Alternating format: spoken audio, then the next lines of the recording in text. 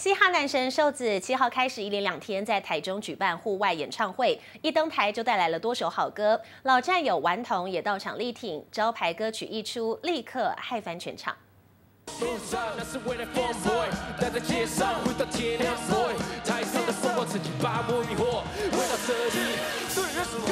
嘻哈男神瘦子暌违多年回到了台中，这次不是以团体的形式演出，而是以个人身份开唱，嗨翻全场。今天半夜睡不着觉，我耍心情喝这歌，现在大家都超 fly。你懂我意思吗？你懂我意思吗？懂我懂我意思吗？So stop lying。你懂我意思吗？你懂我意思吗？懂我懂我意思吗？特地唱了十年以上的经典歌曲，献给一路走来不曾间断支持的老乡。而现在被称为“行走费洛蒙”的他，还开玩笑说，当初想要开演唱会，竟然被看不起。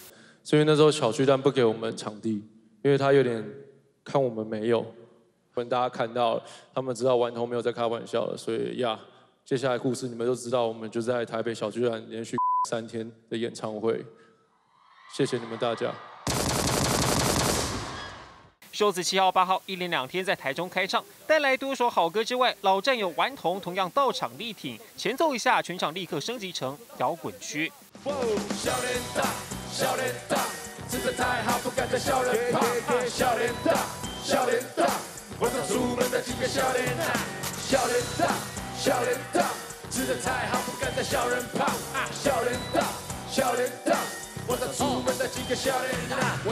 经典歌曲一出，全场嗨炸，也让人看到了嘻哈男神瘦子的魅力。记者台中综合报道。